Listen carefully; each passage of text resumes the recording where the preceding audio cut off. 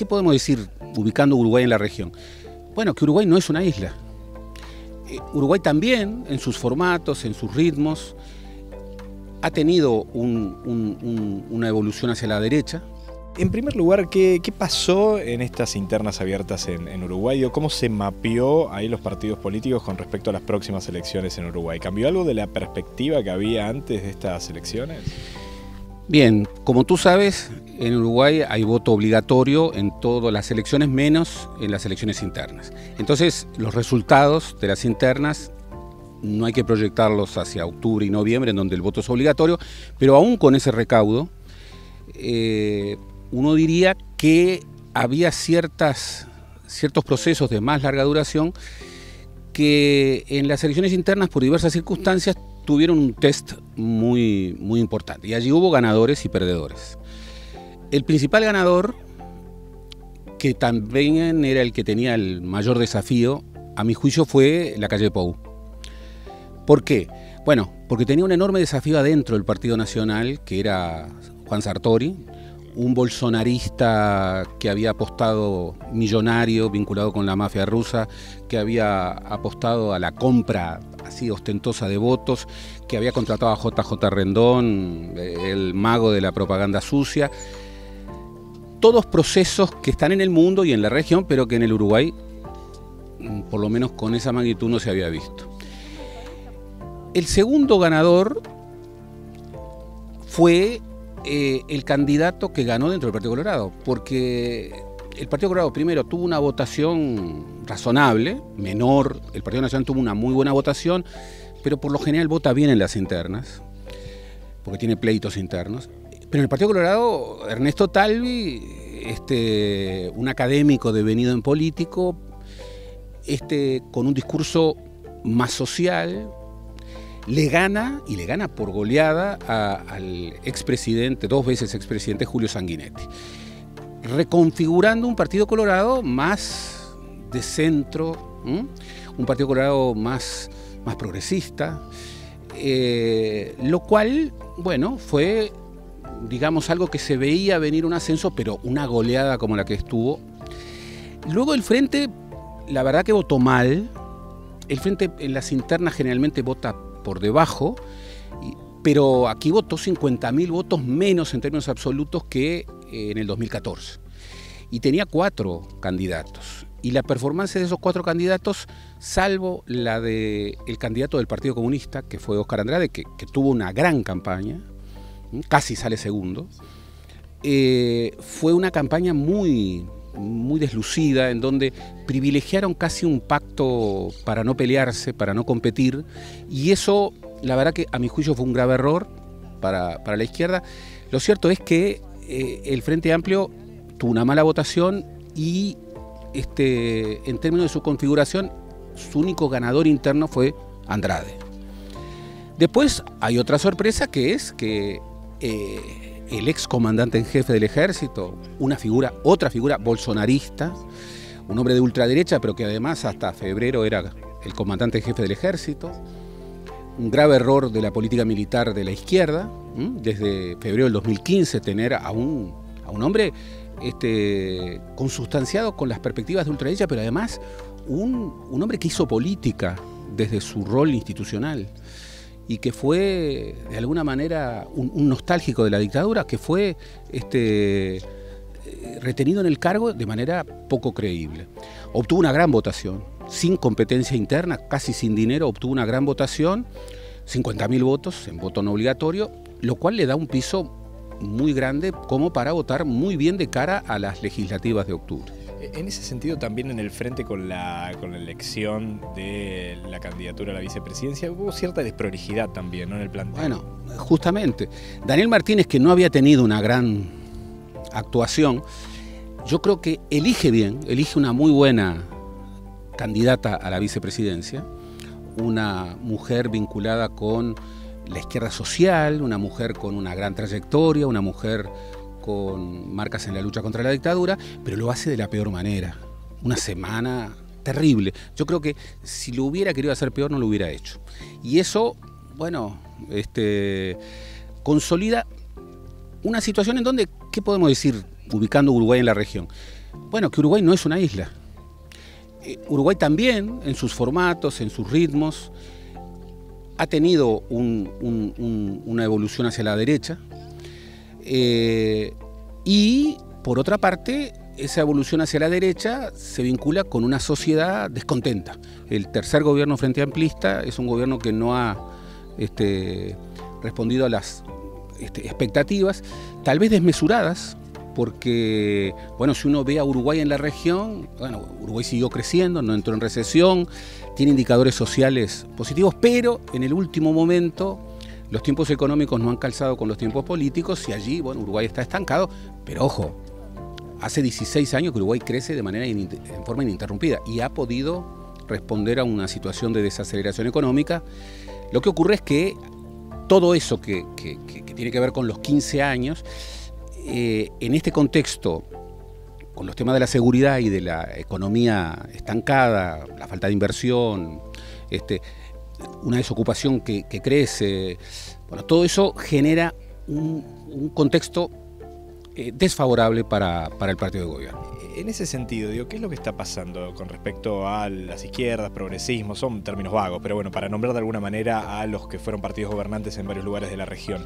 ¿Se generó cierto desgaste con respecto a la función de gobierno? ¿Hubo dificultad de proyección de cómo la derecha estaba tomando algunas temáticas? ¿La derecha ganó los debates mediáticos con respecto a los temas que instaló en parte de la sociedad? ¿Qué sucedió para que exista este cambio regional que daría la sensación que en Uruguay, sin la efectividad de Argentina, de Brasil, pero podría empezar a calar de alguna manera esta lógica de una derecha que crece. Bien, este es un buen tema para hablar de la región. Uruguay, y Uruguay dentro de la región. Uruguay siempre se ha visto fuera de la región, la Suiza de América, pero no es una isla. Eh, yo creo que la experiencia de los gobiernos progresistas, eh, sobre todo en la década dorada, del 2004 a 2014, con la coyuntura del boom de las commodities, bueno, tuvo sus sus haberes importantes este, en términos de distribución, pero le faltaron algunas tareas claves por izquierda. ¿Cuáles tareas? Por ejemplo, cambiar la matriz productiva. América Latina siguió dependiendo de commodities.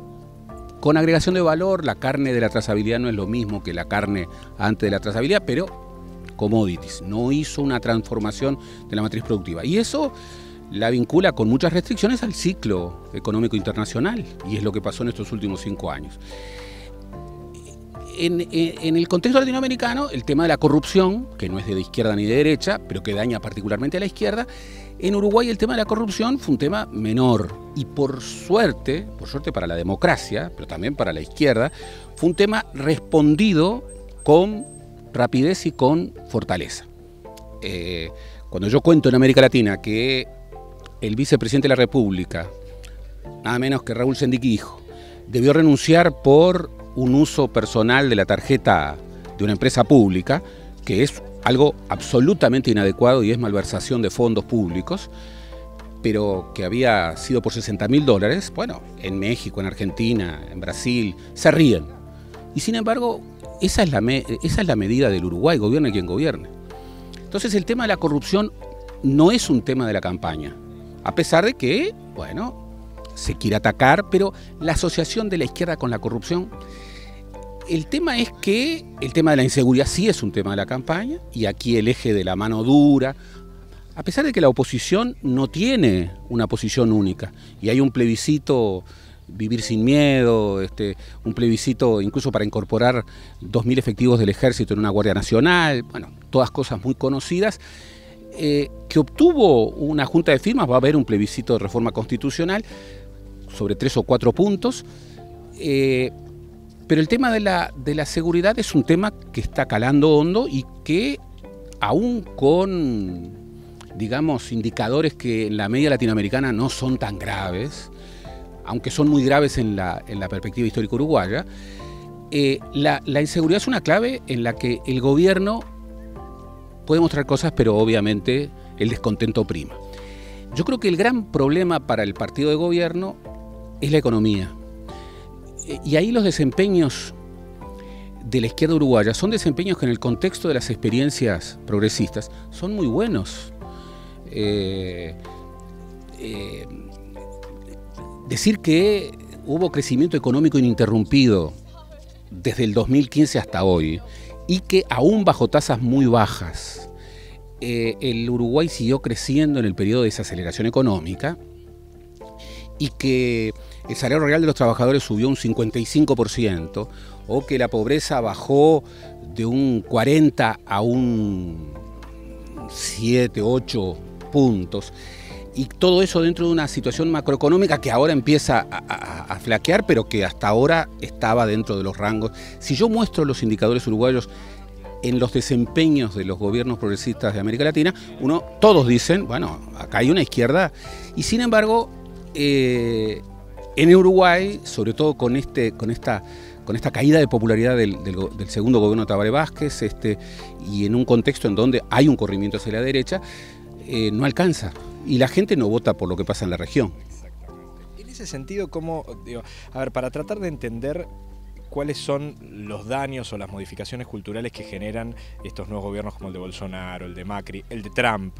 Eh, ¿Qué es lo que pasó? ¿A la gente la convencieron de estas nuevas temáticas y generaron cambios culturales en el pensamiento? ¿Había sectores de derecha que no se animaban a decir determinadas cosas y emergen cuando hay líderes que permiten hablar de esas temáticas y que plantean cuestiones racistas, discriminatorias? Digo, ¿qué es lo que pasó? ¿Tiene que ver con un cambio cultural o hay todos sectores que no se animaban a hablar cuando había gobiernos más progresistas y ahora se atreven a decir determinadas cosas?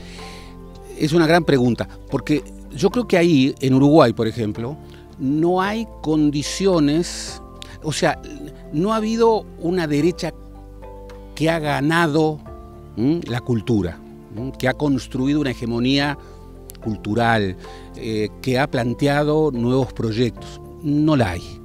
Eh, es más, en las elecciones internas, ¿quiénes ganaron? Y ganaron los que se orientaron dentro de los partidos tradicionales hacia el centro.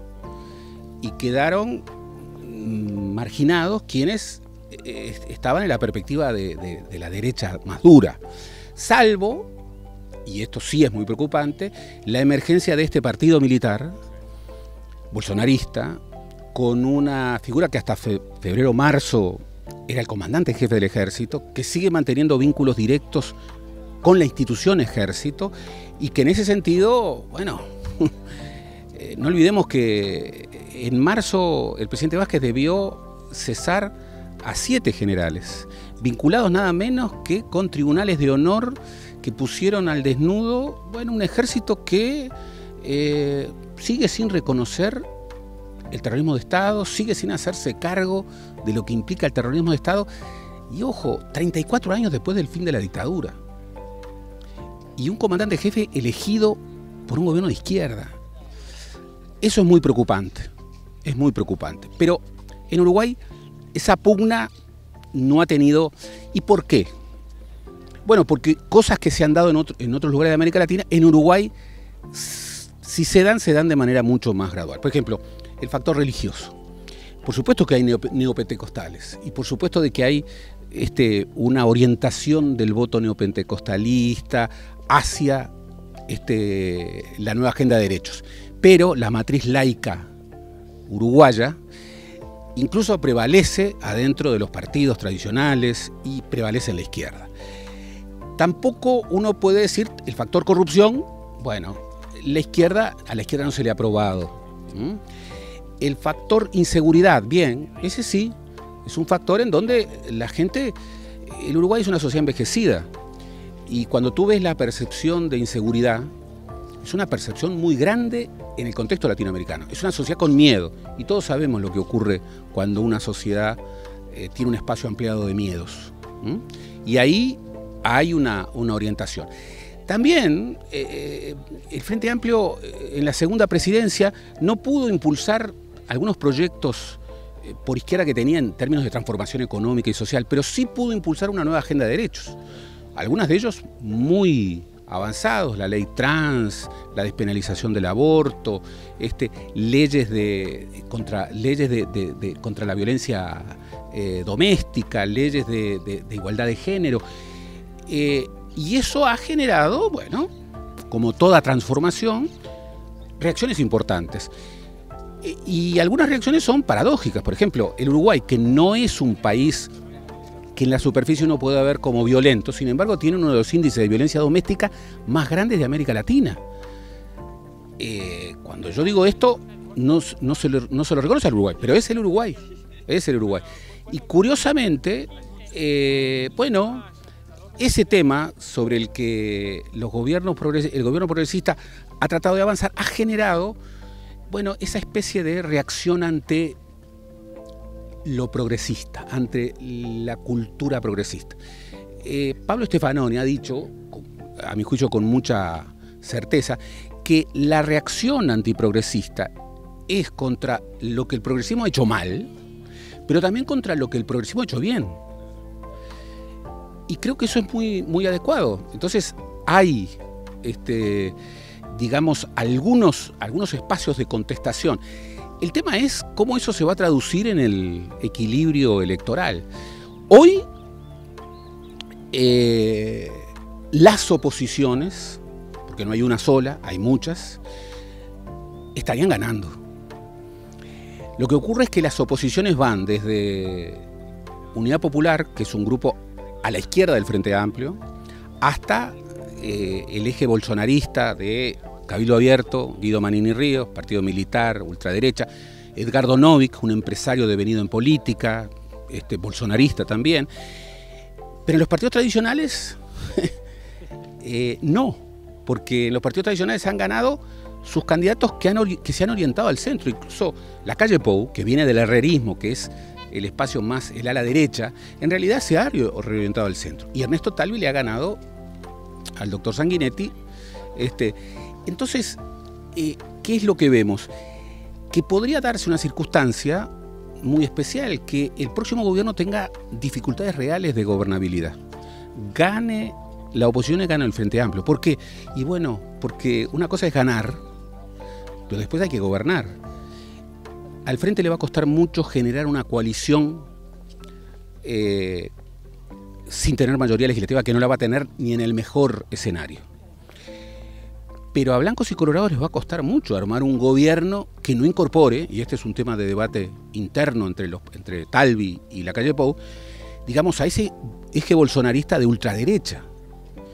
Y meter a ese bolsonarismo adentro del gobierno, bueno, es algo, por ejemplo, que Talvi, que es el candidato del Partido Colorado, no acepta.